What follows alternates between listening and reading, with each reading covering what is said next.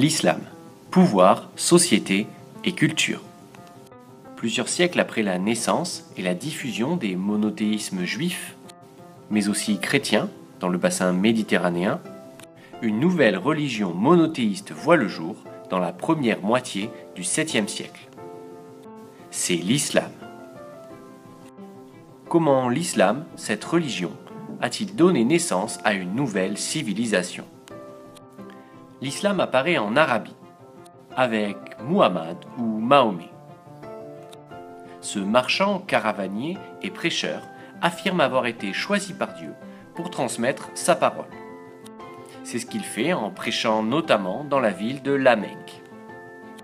En 622, opposé aux polythéistes de la ville, il quitte la Mecque pour l'oasis voisine de Yatrib ou Médine, c'est l'Égir.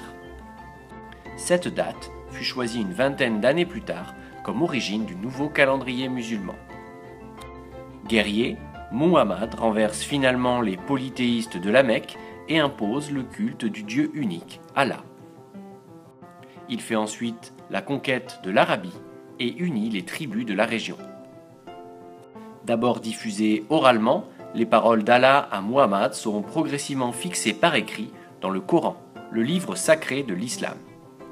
D'autres textes et témoignages sur la vie du prophète viennent compléter ce texte sacré.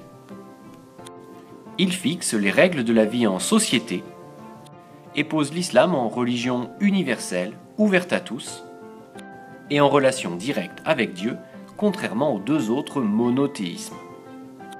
À la mort de Muhammad, en 632, ses successeurs, les califes, à l'image de Haroun al-Rachid, font la conquête d'un vaste empire qui s'étend de l'Espagne à l'ouest jusqu'à l'Inde à l'est. Les califes sont des chefs politiques et religieux qui diffusent l'islam comme religion, l'arabe comme langue écrite et orale. Dans l'empire musulman qui grandit rapidement, les situations sont très variées. Les populations conquises ne se convertissent pas nécessairement au nouveau monothéisme et tous n'apprennent pas l'arabe. Ainsi, les dhimmis peuvent garder leur religion à condition de payer un impôt. Pour contrôler leur très vaste empire, les califes développent des villes telles que Bagdad ou Fès. Ils s'y installent ou envoient leurs représentants, les émirs.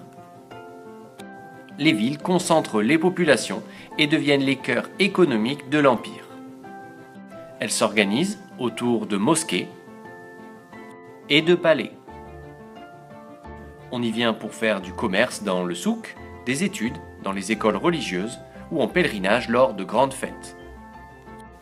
En se développant à partir du 7e siècle, la nouvelle religion qu'est l'islam s'étend rapidement par les conquêtes et participe à la diffusion de l'arabe.